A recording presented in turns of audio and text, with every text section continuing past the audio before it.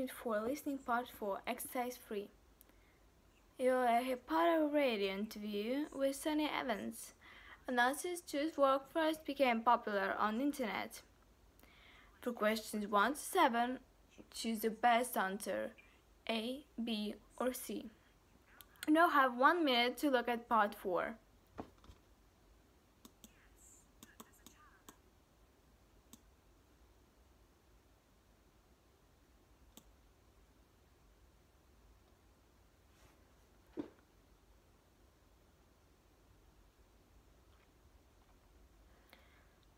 My guest today is artist Sonia Evans, who is drawing have become popular internet and elsewhere.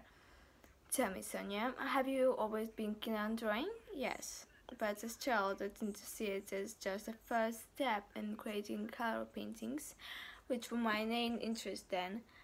When I grew up, I realized that I didn't really have an eye for color, and although I would culture worked on sculptures for a while, I eventually went back to doing pictures, but this time just with pencil, and that's all I've been doing ever since.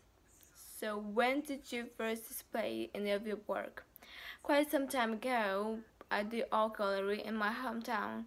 I was really exciting when they agreed to show some of my drawings. There was in Dinilas when I realized it's so good exhibition was taking place in a tiny place outside the main building. Of course, it was never my aim to sell any of them, but it would be nice if more than a handful of visitors to the gallery easily realized that we go there. The fact that the art critic in the local paper was quite impressed didn't help much, as he didn't write about the main day after the exhibition had ended. That must have been quite alarming. Yes, it was. I didn't bother trying to have anything else there after that. And what made you decide to put your work online? A photographer friend of mine had the idea first, though he never actually got round to doing it, and as the only word was to know picture and trying to get noticed there, something that didn't appeal to me at all. I thought that going online is the best thing to do. And how did you actually go about it? Made a short video of myself drawing.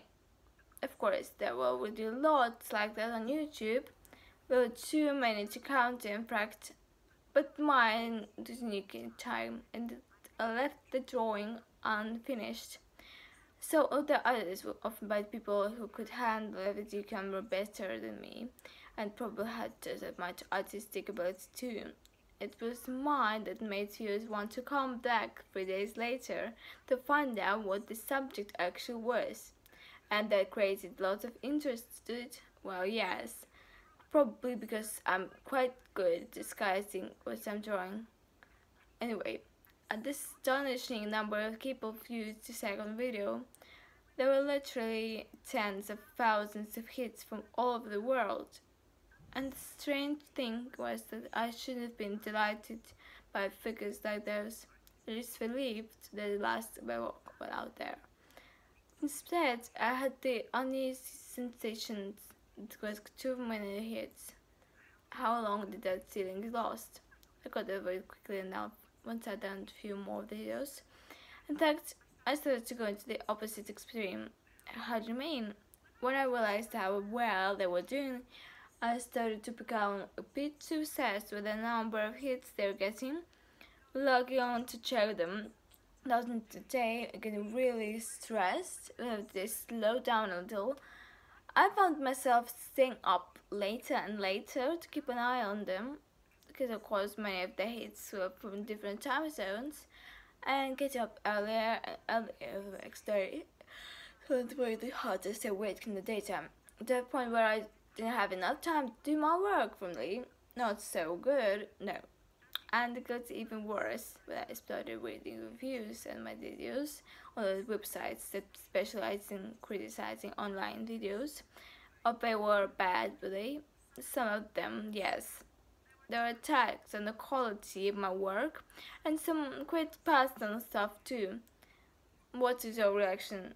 Well, fortunately, I'm some of the first depression or anything like that, but decided to keep well away from those sites.